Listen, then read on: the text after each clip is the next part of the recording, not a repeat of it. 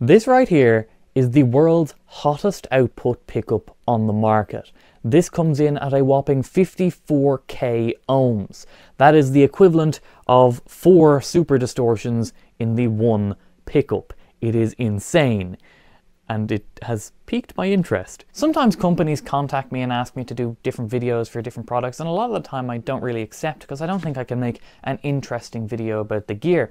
But this was a little bit different. The company that makes this, Alegree, which are uh, parts manufacturer in the UK, they sent me an email, and I think it was it was titled something like "This is stupid" or something. Um, they wanted to see what I thought of this ridiculously high output pickup. I believe it's the highest output pickup in the world. It's more they wanted to see if it could be done rather than whether it should be done. But I'm interested because I haven't obviously put it in a guitar yet. So this pickup has a hotter output than as far as I can see and they can see anything on the market. 54k ohms. But what does that mean? Well, your standard kind of vintage output pickup, humbucker anyway, would be around 8k ohms. So we're going to measure the output of this pickup. We've got a cable plugged in, volumes all the way up, and that's the only control on this. I will attach ground and hot, and we're getting 8.37. So kind of a vintage output rather than a super hot one, and nowhere close to the pickup that we're going to be putting into this guitar a standard vintage single coil would be around 4 to 6 k ohms. Single coil in this guitar, we can check the output of that. That's obviously going to be significantly less. Let's see what it is. It's 6.75 on the output. And then a more modern, higher output pickup could be from 12 to around 15 k ohms. This is kind of your industry standard hot output pickup. This is a Seymour Duncan JB, and when we measure the output, we put our ground and our hot, and we're getting 15.86. Sometimes pickups are exceptionally hot, coming in at 16, 17, 18. Uh, there's very rarely any that hit 20. I think there's a bare knuckle that does it. Um, but this, remember, 54k ohms. And the immediate difference before we've even plugged it into a guitar, it's noticeably heavier. It's got a lot of copper and big magnets. This is four pickups in one. Now, pickups are kind of the voice of an electric guitar. They're a very important part of it anyway. They pick up the string and they deliver it to the amplifier. And the higher the output means that the harder the amplifier is getting hit, meaning that there's going to be more distortion, more gain. The amplifier is being pushed.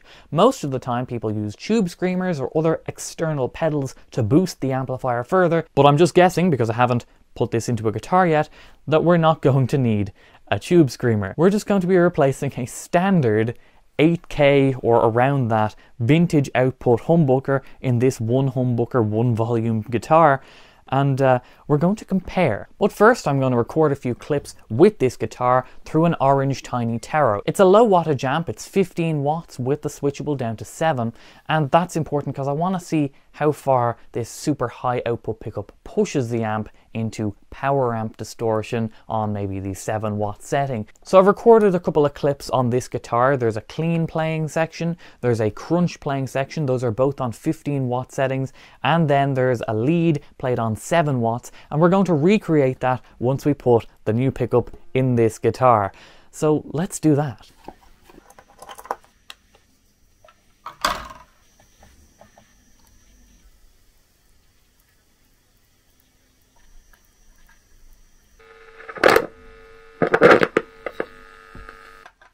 Ignore my soldering, I'm not very good at it, but it does have the ability to coil tap or coil split.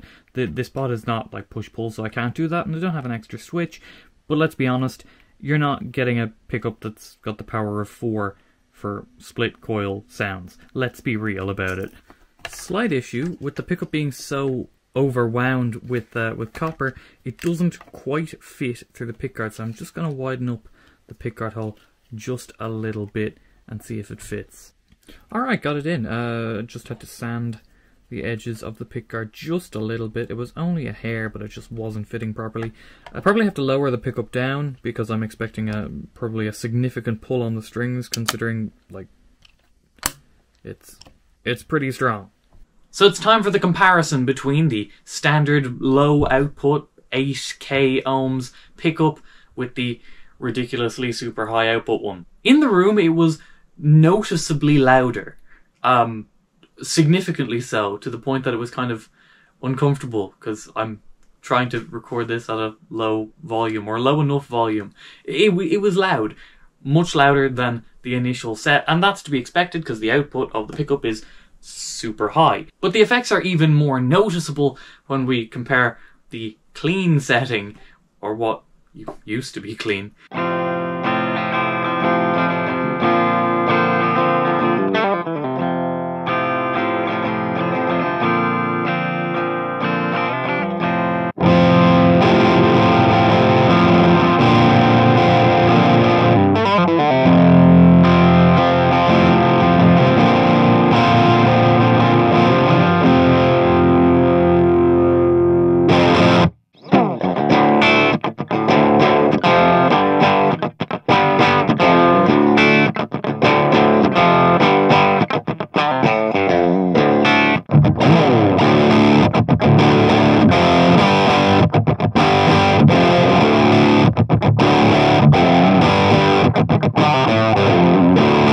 So, a significant difference. The clean is essentially gone. And just a reminder, these are the same exact amp settings and mic placement. Everything is the same except for the pickup. The amp is on the 15 watt setting. It's not a super high headroom amp, but it's higher than the 7 watt setting that I set it to for the solo section that I'm going to play in a minute. And obviously there is a significant difference in the level of distortion between the 8k ohm pickup and the 54k ohm pickup. But what I noticed in the recording, more so than in the room, was the loss of highs. And through a bit of Google searching, I found that this had something to do with resistance. The more whines on the pickup, which this particular pickup has a lot of whines of copper, uh, the less highs are going to get through, and that is evident here. Let's compare a more dirty rhythm track.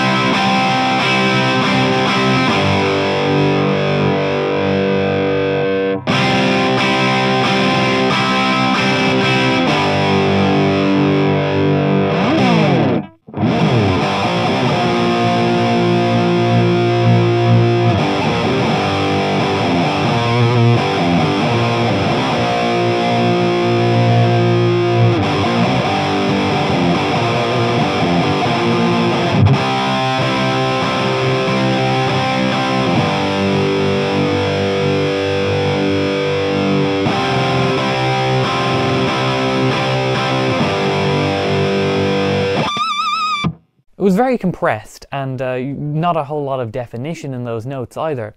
Now, I think where this pickup shines is the leads. In this demonstration, the amp is set to 7 watts, so lower headroom, it's going to break up earlier.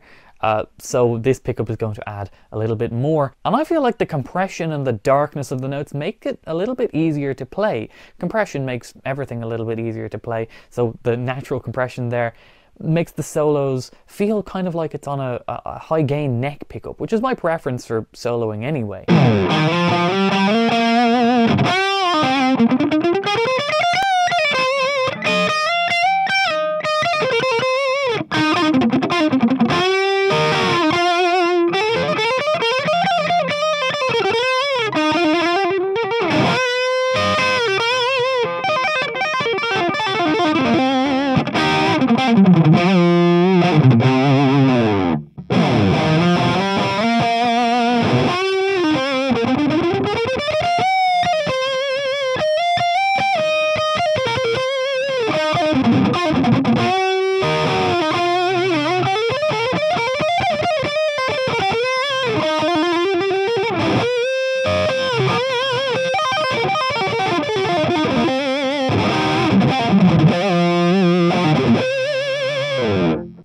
Do I conclude? It's a strange one. It's more of an experiment than anything else, but it was a fun one. It's probably safe to say that the pickup is just a tad too hot, and I think most people would agree with me, probably even the manufacturers who named the pickup after Nigel Tufnel, it goes to 11. But if I've learned anything in my time, it's the guitar players are very strange and they don't agree on anything. So there is probably someone out there who absolutely despises this pickup, and there's probably someone on the complete other end who thinks this is the dream pickup. I could see it probably being used if uh, if someone had it like in a neck pickup and they switched to neck pickups for leads or something. It's kind of like an always on tube screamer sound.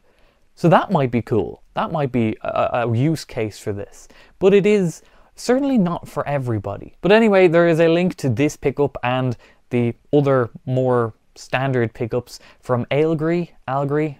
I'm one of those is right, I'm sure. I can't read. Anyway, thank you for watching. Uh, like the video if you liked it. Subscribe if you want to see more videos. And I will see you next time. Bye bye.